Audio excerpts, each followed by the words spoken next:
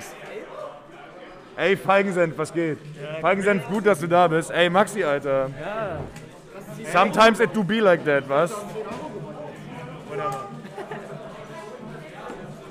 Ja, Parsec hat auch Heide beste Commentary, ja. Schmeiß ich direkt wieder in die, in die Kasse einfach. Und es geht direkt los bei den beiden. Keiner will irgendwie Handwarmer oder sowas, ist denen scheißegal. Und es scheint mir so, als wäre für das für Konzi die bessere Wahl gewesen, sich hier keine Gedanken darüber zu machen, ob er da nochmal reingeht. lockeren Approach irgendwie versuchen. Ja. So fürs Turnier einfach mal. Aber gegen Marius kann man sich das einfach nicht leisten. Irgendwie. Da muss man irgendwie die ganze Zeit voll drin sein und dann Ja. war es irgendwann schon zu spät. Ich war heute gegen euch beide auch so einfach gegen, gegen äh, Ofis und Jan überhaupt nicht und gegen euch beide war ich übertrieben aufgeregt. Ja, ich war, also Das hab ich wollte voll halt selten. Mal, ich wollte einfach mal irgendwie so ein bisschen spaßmäßig, Spaßmodus spielen. Spaß. Und ja, hat auch, hat auch Spaß gemacht, deswegen bin ich jetzt auch gut drauf. Aber Okay.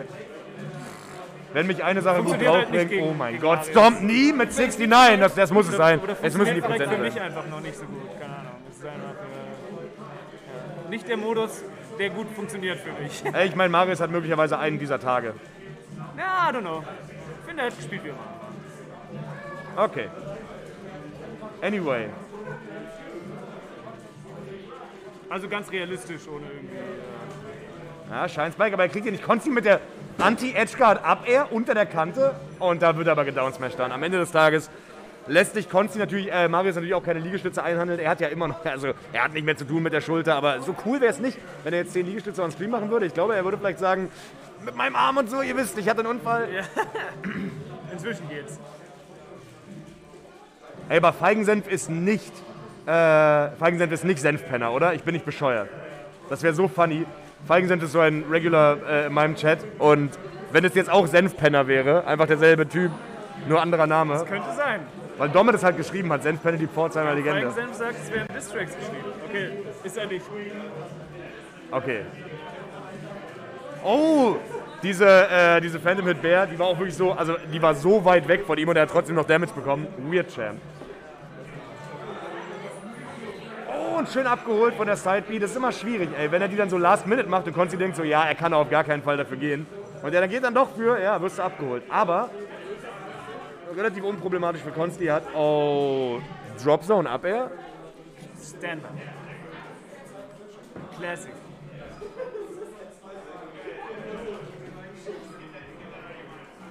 Okay, und wir gehen auf Fountain. Die, Die beste. von der Abwehr kommt ja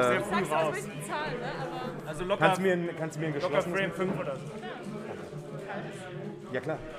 Normal. Fragt sie mich, ob ich ein kaltes will.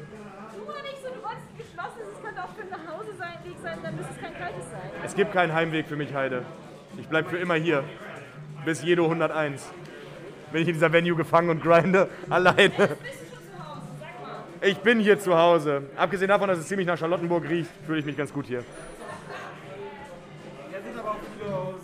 Stomp nie! Und er macht es! Sind zwei Prenzlberger. Geldjunge und ich. Ich weiß nicht, ob Michele überhaupt in Prenzlberg noch ist. Ich glaube nicht. Ich glaube, der ist weggezogen. Michele, bist du noch in Prenzlberg eigentlich? Bist du noch in Prenzlberg? Nee, ne? Am Ostkreuz. Er ist am Ostkreuz. Er ist jetzt äh, in Friedrichshain gelandet. Ich bin jetzt in einem Kiez mit Niki und Niki. Dankeschön. Möchtest du dich irgendwie mit hinsetzen? Weil tatsächlich sind Dennis und ich äh, es gewohnt, an Stuhl zu teilen. Uh, der kriegt sie noch. Ja, wir sind stuhlteiltechnisch gut aufgestellt. Stuhl, Chair, Chair, Chair. Gut aufgestuhlt, wenn du so willst. Chair, Chair. Wir kennen uns. Da Ja, ist das ist genau ist dein der Ding. Ich bin so eine übertatchy Person, ich versuche so ein bisschen Oh. sneaky so ja. Und er kriegt die näher, aber er kriegt nicht den zweiten. Aber Mario ist trotzdem schlecht an der Recovery und es steht 2-0 für Konzi. Das ist ein relativ eindeutiges Set bis hierhin. Ähm, weißt du, es gibt in dieser WG eine Hierarchie. Und diese Hierarchie ist ganz klar. Konzi ist der Patriarch. Und Maxi und. Oh mein Gott! Und er startet jedes FD-Game mit diesem Scheiß. fuck? Und er macht's schon wieder. Marius jetzt dem, dasselbe? Schicksal zuteil geworden äh, wie Paul einst bei HTS. Lässt du das gerne gerade? Ich habe einfach mal probiert, wie es ist, wenn ich ein bisschen lockerer spiele. Ey, Vince, er macht das immer. So Spaßmodus, aber funktioniert nicht so gut. Marius geht für die Chain Grabs und kriegt die. Scheinbär nicht. Oh, aber er kriegt auch die Bär zum Edgeguard, aber der Weak Bear. Und Konsti snappt die Ledge. Aber ein bisschen aggressiv da reingegangen. Marius war ready für ein, Shield, für ein Power Shield sogar. Äh, und ja, kein schlechter Stock für Marius. Auch wenn er äh, am Anfang gefalken puncht wurde, hat er seinen Weg zurück in dieses Match gefunden. Gar nicht übel, Also äh, wenn ihr mich fragt. Aber ja, äh, wenn du bei 70 stirbst von einem Knee, dann ist das, äh, klar. dann ist das, weil du gegen Falcon spielst. Oh What? Wie kann man dafür nicht ready sein? Ich frage, ich Oh Mann, frage. ich war überhaupt nicht ready gerade. Warte mal ganz kurz, hat Marius gerade äh, Konsti schon zwei Stocks abgezogen? Yes, das ist für was geschehen nichts, ist. Für einfach nichts, für 13% und einen Stock. Konsti Oh. ist nicht wach und nicht Oh da. mein Gott, Konsti mit den Reads! Das ist auch sowas von so ein Konsti-Ding. Er macht halt so Tech Chases nie auf Reaction, er readet immer. Und wenn es klappt, ist es so beautiful. Aber wenn es nicht klappt, ist es halt so, Konsti, du hättest schon reagieren können. Und er sagt dann so, das ist nicht möglich. Feigensenf hat all sein Geld auf Konsti gesetzt. Ey, Sit Feigensenf, your kein schlechter Call. down. Sehe ich auch so. Du hast all dein Geld auf Konsti gesetzt. Feigensenf. Hallo Feigensenf. Feigensenf. Witzka hier für den Fall, dass du mich nicht wieder, also nicht, nicht zuordnen Weil du kannst. mich nicht Weil wiedererkennst. wir kennen uns tatsächlich aus, aus dem Chat, kennen wir uns. Ja, ich weiß aber nicht, ja. ob wir uns aus, aus mit, mit Voice und so kennen. Ja. Wie soll ich den Feigenkindern beibringen, dass sie nur noch Staub essen dürfen, wenn das so weitergeht? Ey, Richtig. Feigensenf, ich sag mal so. Äh, Marius hat gegen Konsti diese Season einmal gewonnen und es war ein Game 5 Set. Er liegt jetzt gerade 0-2 hinten. Es wäre auf jeden Fall wieder ein Game 5 Set, wenn er hier gewinnen würde.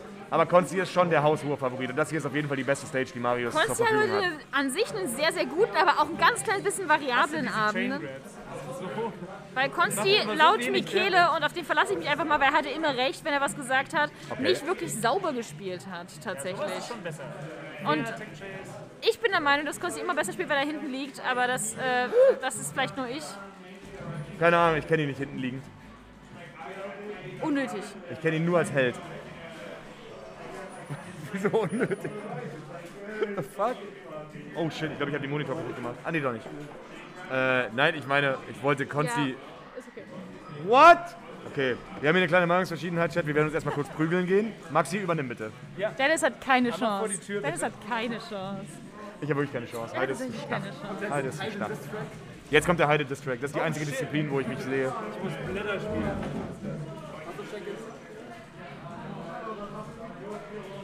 Anyway. Wir haben diese Meinungsverschiedenheit aus der Welt geräumt. Heide hat, mir, Wir sind hat mich mies verkloppt und jetzt sind wir wieder Homies. Dennis Nase sieht nicht mehr aus wie vorher, aber auf der anderen Seite muss man sagen, Sie sah vorher auch nicht sonderlich attraktiv aus. Wir haben, naja, sie ist immer noch wunderschön. wir haben versucht, meine ich Nase in die richtige Richtung zu tilten und naja. Beim nächsten Mal werde ich ein bisschen präziser vorgehen, Jungs. Aber jetzt äh, sind wir wieder da.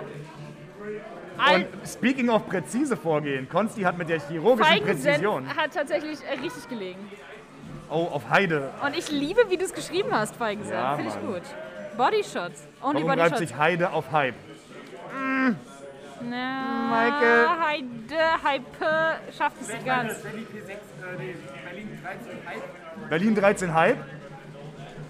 Was ist denn das? Ist das Konsti? Nee, das, Berlin, das bin ich. Ah, stimmt, ich bin auch ein Emo. True.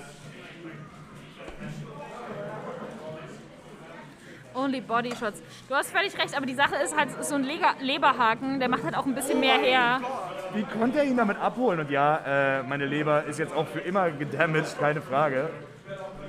I've never heard of Strawstream, but his Fox is sick. Ja, ey, on a rap, uh, Strawstream is, uh, Back to the, is a back to local the legend. game. What the fuck, Berlin? Dude, Berlin is insane. Konsti hat im ersten Spiel ein paar abgegeben, ein paar genommen, aber auf der anderen Seite muss man jetzt sagen, jetzt erinnert sich Konsti wieder daran, dass er ein relativ guter Spieler ist. Ja, ist er auf jeden Fall. Er erinnert Ja. sich vor allem daran, dass er gegen Marius wirklich beim besten Willen nicht verlieren will, weil Nee. das wäre, das wäre. Oh mein Gott! Und er holt ihn ab mit der Abwehr. Und Konsti konnte ihn noch halten. Und das ist halt einfach jetzt ein riesiger Vorteil, weil Konsti hat jetzt drei Stocks auf Marius. Und es ist relativ egal, dass er so 126 Prozent hat. Er wird jetzt sterben, ja. Er wird Und jetzt Marius? sterben, Okay, aber okay. Marius ist immer noch ein Stock hinten. Und ich glaube, er hat auch so ein bisschen so diesen, ich habe zu Hause schon sehr oft verloren Vorteil, so, ne? Äh, Nachteil. Also so ein bisschen so dieses, ah, wir kennen das doch, wir sitzen doch eigentlich quasi gerade im Kinderzimmer und, und spielen so ein bisschen gegeneinander so.